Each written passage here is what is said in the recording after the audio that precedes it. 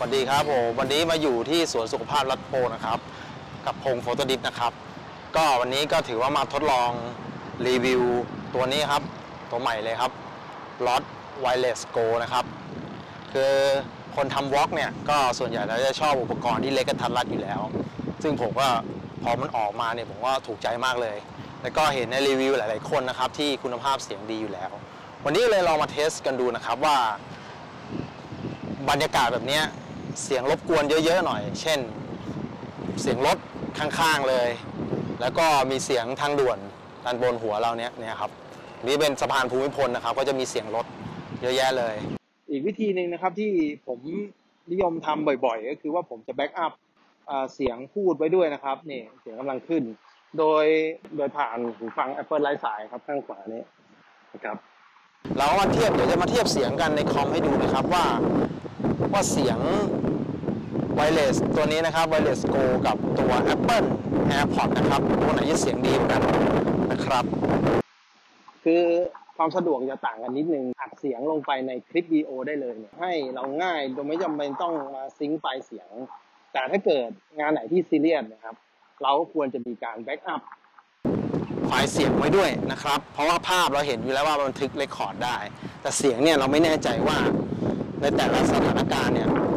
เสียงมันจะชัดเจนมากพอหรือเปล่านะครับ เราก็เลยทำรีวิวตัวนี้ขึ้นมา ปกติเสียงของ AirPods เนี่ยครับเขาจะมีการบีบอัดมีการ compress นะครับ เสียงมันจะบี้ๆนิดนึงเนื้อเสียงของเขานะครับ แต่ก็ถือว่าเสียงคมชัด เพราะว่าจะอยู่ใกล้ปากเลย แล้วก็ได้มาลองเปรียบเทียบกับตัวไวเลสตัวนี้ เดี๋ยวผมจะสวิตช์ไปสวิตช์มาว่า เสียงตรงไหนเป็นเสียงของไวเลส และเสียงตรงไหนเป็นเสียงของ AirPods นะครับ ก็จะมาทำรีวิวด้วยกันนะครับ เนี่ยครับก็พูดในท่ามกลาง เวลาประมาณ6โมงเย็นครับ พูดท่ามกลางบรรยากาศธรรมชาติ แล้วก็เสียงรถเยอะแยะเลยนะครับเชื่อว่าไวเลสแบบนี้เนี่ยเหมาะเลย ตัวอุปกรณ์ก็เล็กนิดเดียวนะครับ แล้วก็ทำที่ติดตั้งเขาเนี่ยก็เล็กเลย โดยที่ไวเลสโกตัวเนี้ยสามารถใช้กับกล้องได้ด้วยครับ สบายเลย ก็อุปกรณ์เขาออกแบบมาดีนะครับเนี่ยตัวหนีบอย่างเงี้ยก็พอหนีบแล้วก็สามารถเป็นฮอตชูกล้องได้เลยนะครับ แล้วก็ตัวของ iPhone เนี่ยผมว่าก็ดีมากเลยนะครับ คือมันเป็นไวเลสมาแต่เสียดายที่ iPhone เนี่ยยังไม่ได้สามารถอัดวิดีโอพร้อมกับอัดเสียงไวเลสด้วย AirPods ได้นะครับ ยังต้องใช้โปรแกรม third party อื่นๆครับ เช่น Movie Pro อะไรเงี้ย เป็นการแบ็กอัพไปครับ นะครับ น่าจะเหมาะนี่คือบรรยากาศ ตรงนี้มีเสียง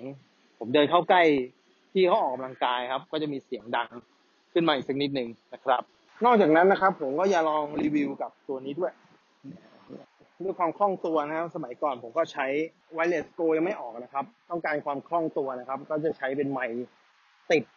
ตัวกิมบอลอย่างเงี้ยครับ เป็นไมค์ก็สะดวกดีเป็นไมค์ที่แบบ สามารถหัก 90 องศาแล้วก็หมุน คืออุปกรณ์กล้องนะครับ ผมใช้ตัวเอ่อ Remoview นะครับ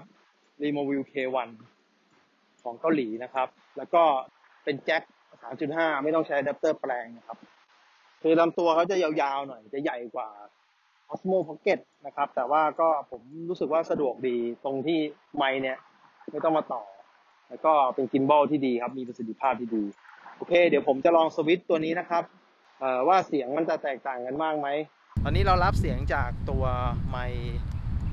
ซาลามอนิกนะครับความรู้สึกเป็นไงบ้างนี่ผมถือระยะเดียวกัน ไม่ได้ถึงกับยืดสุดแขนนะครับ จากระยะตัวประมาณศอกหนึ่งน่าจะอยู่ประมาณสัก 30เซนติเมตรได้ครับ แค่ประมาณสักศอกหนึ่งไม่ได้ยืดถึงกับสุดแขนมาก ไม่ได้ยืดสุดแขนแบบนี้แค่ยืดปกตินะครับ เพราะว่าเลนส์ตัวนี้ก็จะค่อนข้างมุมกว้างอยู่แล้ว อันนี้นะครับก็เป็นเสียง จากไมค์ของ r e m o v i e w เลยครับ เป็นยังไงบ้าง เสียงจากไมค์ของ r e m o v i e w ครับ มีเสียงจากตัวเองหรือว่าเราเปรียบเทียบกันดูนะครับว่าเป็นอย่างไรตอนนี้ผมดึง ตัวนี้ออกมาแล้วนะครับนี่เป็นเสียงไมค์จาก r e m o v i e w เลยนะครับ เราก็เลยมาลองเทสเสียงเพราะเสียงเป็นเรื่องสำคัญ โอเคครับ ตอนนี้ใช้ไมค์ Wireless Go ตัวนี้นะครับ มุมตำมุมตำแหน่งเดินนะเดินวนไปวนมา ตัวนี้ก็เล็กกระทัดรัดนะฮะ แล้วก็ตัว รับสัญญาณเนี่ยจะมีแถบขึ้นด้วยว่าเสียงเข้ามากน้อยแค่ไหน พีคไหมอะไรอย่างเงี้ยครับ ใช้งานง่ายครับ แค่เปิดเครื่องเขาก็แพรกันแล้วนะครับวันนี้ผมก็เลยมาเทสทั้ง Wireless Go นะครับ เทสทั้งอ่า AirPods แล้วก็ไมค์ Salamonic ตัวนี้ครับ แล้วก็ไมค์ของ r e m o v i v a n นะครับ เสียงแต่ละไมค์ของเราเนี่ยเราชอบเสียงไหนนะครับ ก็ วันนี้ก็ขอบคุณทุกๆคนมากๆนะครับ ที่มาติดตามหวังว่าวันนี้จะได้ประโยชน์กับทุกท่านนะครับ ได้เทสอุปกรณ์ดีไวทั้ง 4 เสียง ในสถานที่เดียวกันเลย วันนี้ขอบคุณมากๆนะครับพงมุกโฟโตดิฟลาไปก่อนแล้ว สวัสดีครับ บ๊ายบาย